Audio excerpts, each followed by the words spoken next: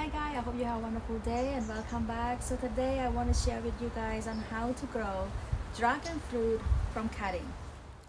I just received a couple of the new container from Vego. This is the dragon fruit container. It's a new design.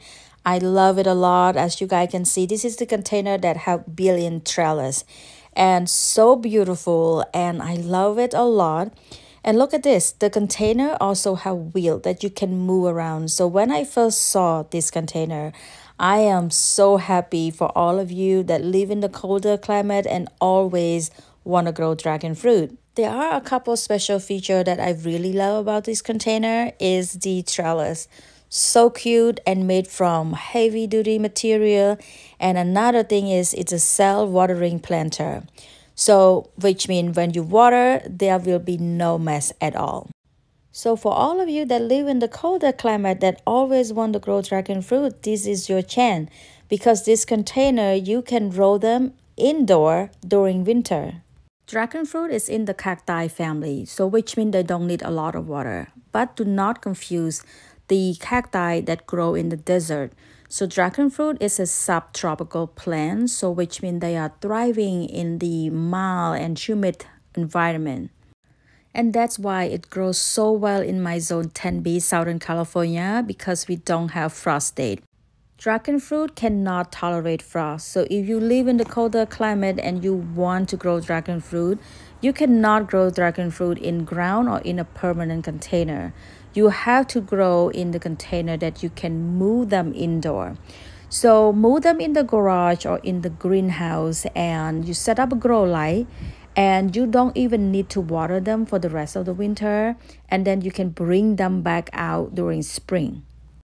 Okay, so let's move on to the cutting. And one of the most question asked is where can you buy the cutting?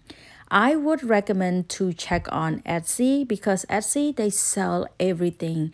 I got a lot of my unique seed from Etsy and they even sell live plant. So I have multiple cutting right here and I cut this about a few days ago and the reason that you want to leave it for a few days because you want to leave around the cutting area to dry out because this will prevent disease and rotten. Now let's move on to the soil mix. Nothing special at all, you guys. Dragon fruit is one of the most easiest plant to grow. They can survive with anything. Even though you just plug it in the ground, it grow. So I only use potting mix. Uh, you can find any potting mix you want. You don't have to buy the expensive potting mix. So I use potting mix and also uh, compost, organic compost and make sure you mix them well before planting. So for next season, when you see the soil is kind of getting a little bit lower, you can add some extra potting mix and some more compost and that's pretty much it. So here is the cutting and you can see that it's a little bit long. So if you have limited of cutting, you can turn this into multiple cutting. I planted about a few inches deep. You don't have to plant it too deep. Uh, and make sure you press a little bit firm at the base uh, and we can tie the top later. All right, so this is another one. I know that's big, but the thing is when you grow bigger and healthy branches, this branch is already established, so it will give you fruit the next season. Some of the smaller branches, I will uh, cut them out later. All my dragon fruit cutting gave me fruit the next year. It may be fewer, but the next following years will give you a lot of fruits. Growing dragon fruit from cutting is a way to go.